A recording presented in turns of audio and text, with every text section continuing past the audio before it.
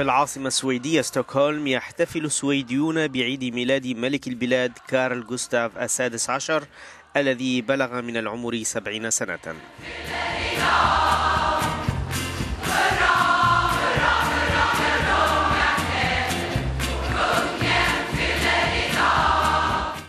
وجرى الاحتفال بحضور ملك إسبانيا خوان كارلوس وعقيلته وأميرة اليابان تاكامادو وملكة الدنمارك مارغريت.